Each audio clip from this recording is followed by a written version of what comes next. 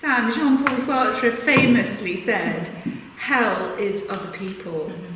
But I'm sure there's a variety of views on what hell is or isn't. I wonder if you might share some thoughts. Yeah, it's interesting that you use the word hell because, of course, hell has, I think, tight and Christianized notions, where in actual fact, um, is hell, is it Hades, is it Tartarus, these other expressions of, you know, where you go, a geographical locale Mm-hmm. of where you go once, you, once you're dead, whether you're flit a shade or an image of oneself, you're going to go somewhere. And so this notion of hell, I think, induces, and so let's play with that, even if we're really talking about Tartarus or Hades. Hell um, suggests punishment.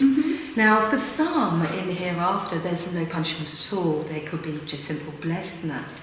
However, you know, we can actually see in various texts, you know, whether we look at the classics, and that's where I tend to be um, leaning towards, where we look at Homer and there hell has a dimension that if you sin in this life, there's going to be retribution for you in the next.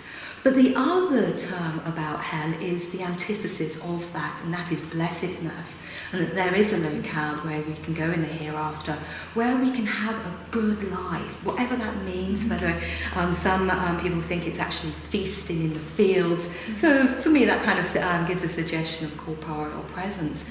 But the notion of hell and punishment, whether it's through um, stories about the eternal sinners or such like, actually can give models on how we live.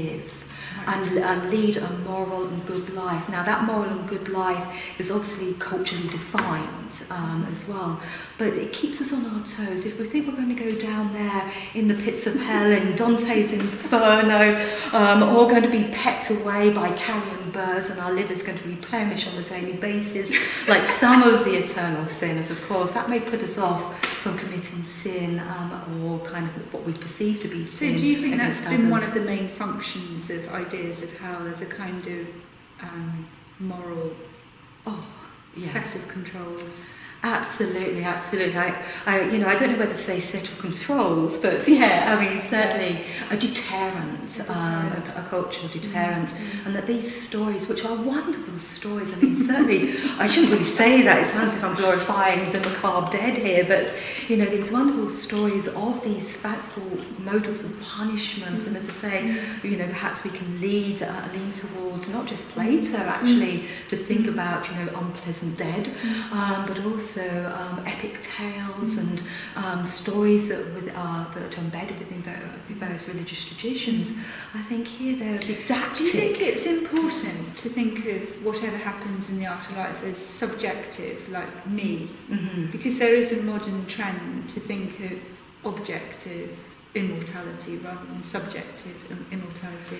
Actually, I think we, we actually need to have our cake and eat it here. Um, and, you know, there is... Yeah, a bit of both. Cover our bets, just in case. Um, but, you know, certainly there is uh, a, a collective response towards death, whether it's the marginalisation of it, for example, in our own society where we see, um, you know, the um, crematorium or the ceremonies of burial take place peripheral to the civic space. So there seems to be this collective marginalisation of death, but also a collective celebration of it at that moment in time. But in actual fact, there's also this self-expression where, you know, we're thinking, well, am I next? You know, and so we mm. do have that individualized response. Mm. And I think collective responses to death enable us to reflect on our own individualized mm. destiny and you know those potential belief systems. And so I think you know this erring away from the individual self um, I think is actually not quite the case because I, I do think there is that consciousness um, but yeah you know in response to your question I'm going to say let's be individuals within a collective setting I love it. thank you Thank you so much. Thank you very Brilliant. much. Well Thank done. you.